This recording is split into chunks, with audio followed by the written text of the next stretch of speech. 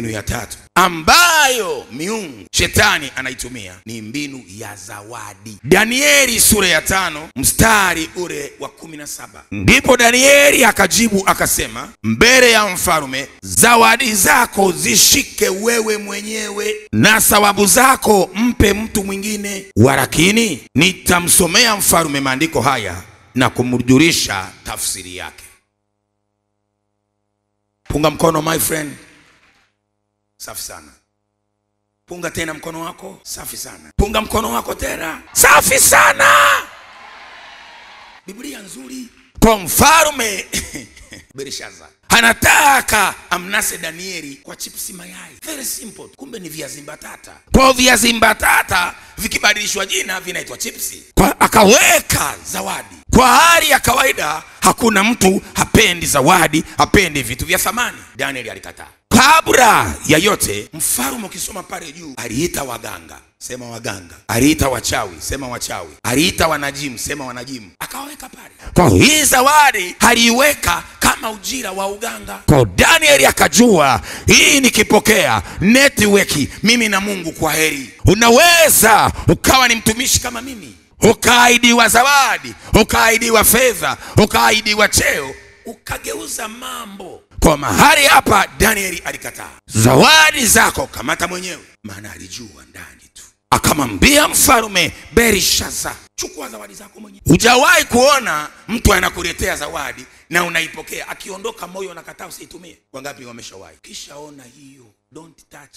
Unaweza ukaletewa zawadi ni ya thamani lakini moyo unagoma. Usilazimishe.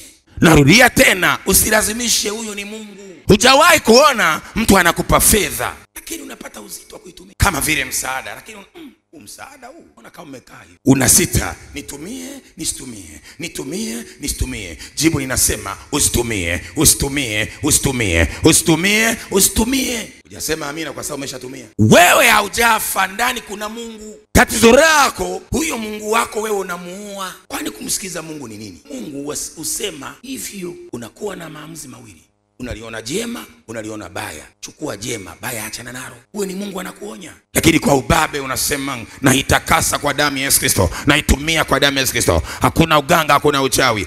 Wewe. Unaombea zawadi ya kichawi. Huko ni kugeuza jiwe kuwa mkate. Bwana amekuonya. Wai usitumie Unasema kabisa kama kuna hilo za shetani. Rika shaka ramasha, wewe danieli akakataa kuichukua zawadi. Akataa ofa. Hapa akina dada wengi wamenasa. Dada mmoja akaniambia mi nachukua zawadi zao tu lakini siwakubalii. Sasa akaja akachukua zawadi zenye zawadi. Akakimbia. Alikuwa anasoma jang, jangwani sekondari yule binti. Akara zawadi za muuza mitumba tena mgosi wa kaya. Akamkataa tulifanya kazi kutoa pepo. Baadaye maisha yameenda dada kila kitu kinagoma ndoa hakuna ndoa hakuna ndoa hakuna miaka inaenda mwisho akaangukia kanisani. Akaja kanisani. Kuweka mikono wagosi wanaruka. Wanasema mke wetu mke wetu mke wetu mke wetu. We nani? Midula umeingiaje humu ndani? Akaambia alikula zawadi zangu nilikuwa nauza mitumba pale karume. Anaweza kunikimbia mimi? Tutaona sasa unaanza kujiuliza hapa natubu naomba rehema naomba maombi gani? Binti tapeli kara zawadi za watu halafu akukubali. Maana maombi mengine inabidi kwanza utulie. Wanamdai. Binti anadaiwa. Kara cheni za watu gauni za watu viatu vya watu sikuna.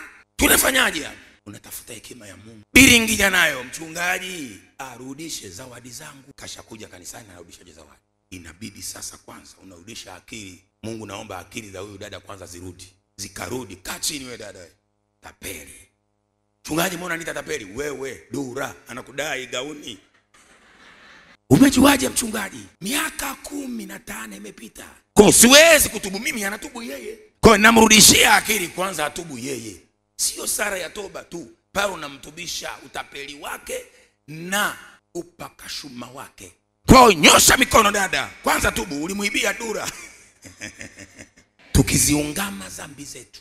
Yeye ni mwaminifu. Kwa zambi ambayo umeiruka bila kuiungama itakutesa. Pamoja na sara ya toba kuna mengine ni mikataba lazima uifute nilikubali utanioa ukanipa dawa ukanipa dawa ukanipa hela ukanipa nini. Sasa nimekataa kuolewa na wewe nimeokoka. Unafuta mkataba agreement. Kwa kinywa unakiri. Una, unakiri. Kwa ikabidi kumkirisha amkatae dura akatae na zawadi zake. Alipokataa akakiri akatubu. Nikaomba akafunguka. Leo hii anaendelea na yesu. Piga makofi ya shangwe na vigeregere